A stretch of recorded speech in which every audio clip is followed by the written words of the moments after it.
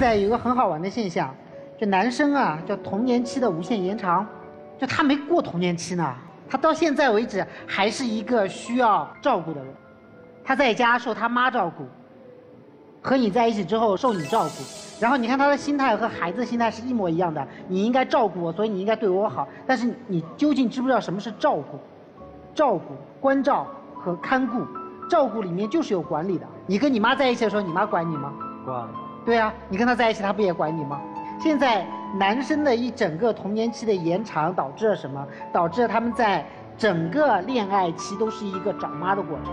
就你看他在电梯里面看到你的时候，第一反应不是哇你真好看，或者说我特别爱你，特别想跟你在一起，或者说我对你有一个什么样的冲动欲望，他对你的第一反应是你能照顾我。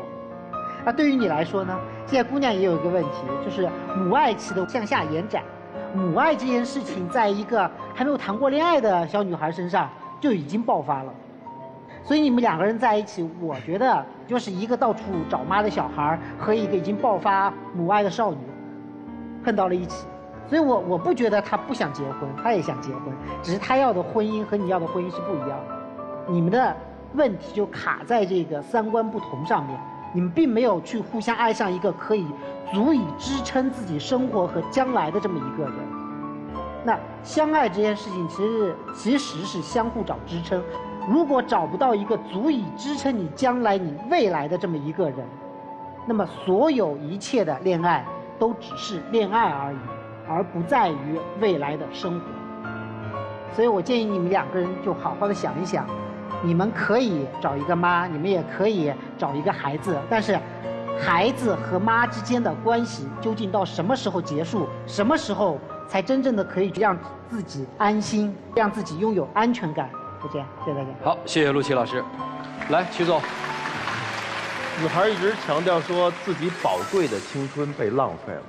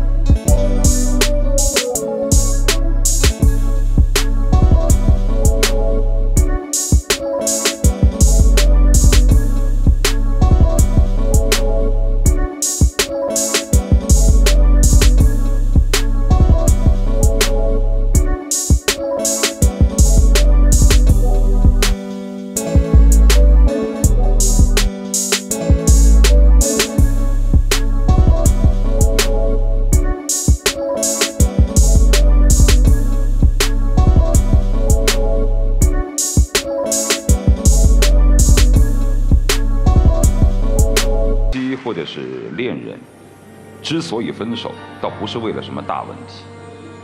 最主要的问题是在于彼此之间的步调是不一致。如果你觉得彼此之间很好玩，你大概会忘了回家，忘了结婚这件事情。如果他真正成熟了，他会愿意跟你回家，会愿意跟你结婚。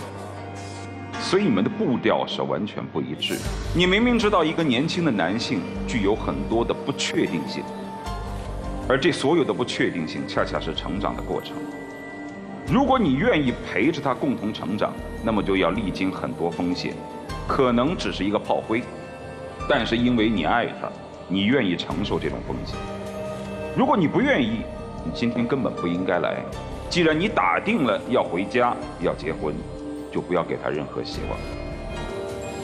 而对于男生来说，他此时此刻的情感是真实的，他至少认为当下和你相处的这段时间是美好的，但是你却不认为这是你最好的年华。你觉得我的青春在浪费。当你说我的青春在浪费的时候，说明此时此刻你跟他的相处是不快乐。那既然是不快乐，那又何必要在一起？沈从文说：“我看过很多地方的云，行过很多地方的桥，喝过很多地方的酒，却只爱过一个正当好年龄的人。那也只是一个男人在经历过很多之后，才会发现当初的珍贵。他才经历多少？他没经历多少。